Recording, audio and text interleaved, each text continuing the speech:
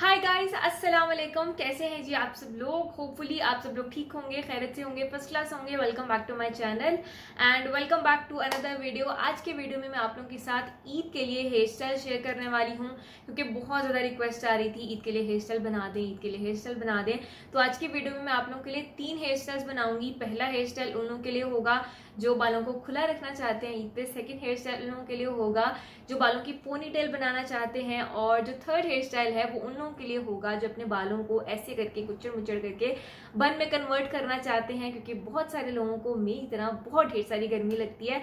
तो जल्दी से चलते हैं वीडियो को स्टार्ट करते हैं लेट्स गो चलें जी स्टार्ट करते हैं। सबसे पहले वाले हेयर स्टाइल में आपने अपनी फिंगर्स को स्ट्रेट लेके जाना है, जहाँ से आपकी आईब्रो आर्च स्टार्ट हो रही है ना। बिल्कुल वहाँ से आपका हेयर स्टाइल दोनों साइड से स्टार्ट होना चाहिए। इस तरह से अगर आप करेंगे तो आपका जो हेयर स्टाइल है, वो दोनों साइड से बिल्कुल इक्वल बनेगा, ज़्यादा नीट लगेगा। रबर बैंड के साथ मैंने इसको सिक्योर कर दिया और फिर उसके बाद मैंने इसको इनवर्डली ट्विस्ट किया। यही वाला सेम प्रोसेस हमने अगले दो तीन स्टेप्स में भी फॉलो करना है और सेम इसी तरह से आपने बैक साइड से बालों को उठाना है पोनी टेल में सिक्योर करना है। ब्लैक कलर की रबर बैंड यूज़ करनी है कोई कलरफुल आपने रबर बैंड यूज़ नहीं करनी। आपने बालों की ना तीन दफ़ा सेक्शनिंग कर लेनी है फ्रंट साइड के बाल मिडिल के बाल, और जो आपका क्राउन वाला सेक्शन होता है, उसके बाल तीन से ज़्यादा आपने सेक्शनिंग नहीं करनी अदरवाइज़ आपकी स्किन बहुत ज़्यादा प्रोमिनेंट होने लग जाती है। सेम इसी तरह से मैंने तीनों दफ़ा ये वाला सेम प्रोसेस इसको रिपीट किया है पोनीटेल से सिक्योर किया इनवर्डली ट्विस्ट किया।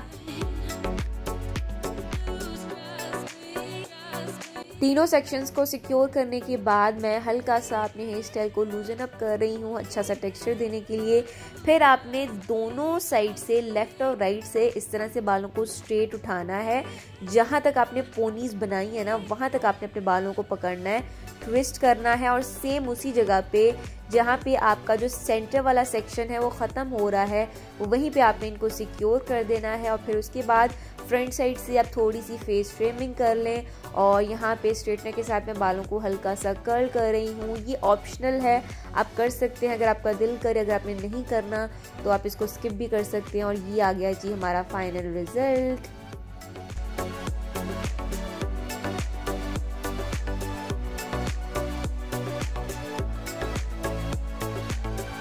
second ponytail hair style के लिए आपने बालों को इसी तरह से कंटिन्यू करना है। सिर्फ़ जो साइड वाले सेक्शंस हैं लेफ़्ट और राइट पे उनको मैंने छोड़ दिया है।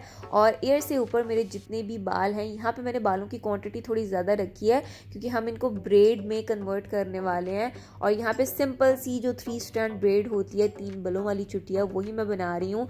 ज़रा सा ऊपर की तरफ़ को आपने इसको रख के बनाना है, ताकि आपकी जो चुटिया है, वो इसी डायरेक्शन में बने, जहाँ पर आपने इसको सिक्योर करना है।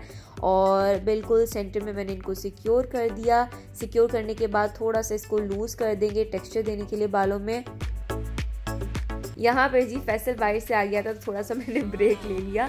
उसके बाद पीछे वाले जितने भी हमारे बाल बचेंगे, उनको हम पोनी टेल में सिक्योर कर देंगे नीटली ये एक छोटी सी ट्रिक है आप लोगों के लिए कि अगर आपकी पोनी बहुत ही ज़्यादा फ्लैट लगती है, आपको वॉल्यूम चाहिए अपनी पोनी टेल में तो थोड़े से बाल ऊपर से पकड़ के उनको बैक कॉम कर दें और फिर इस तरह से उनको नीट कर दें तो आपकी पोनी में बड़ा अच्छा सा वॉल्यूम आ जाएगा।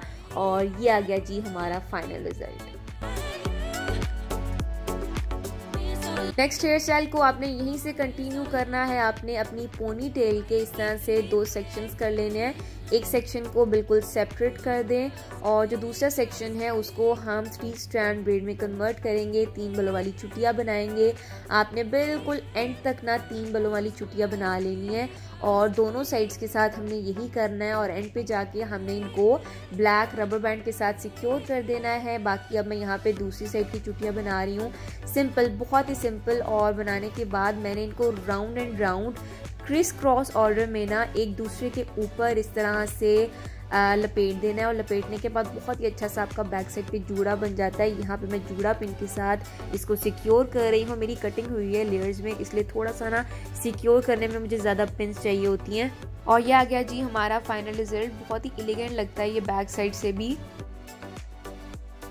आई होप आप लोगों को वीडियो पसंद आई होगी और वीडियो आप लोगों के लिए हेल्पफुल होगी। अगर आप लोगों को वीडियो पसंद आई हो तो give this video a huge thumbs up अगर अभी तक आपने मेरे चैनल को सब्सक्राइब नहीं किया तो क्या कर रहे हैं? जल्दी से नीचे जाएँ और मेरे चैनल को सब्सक्राइब कर दें।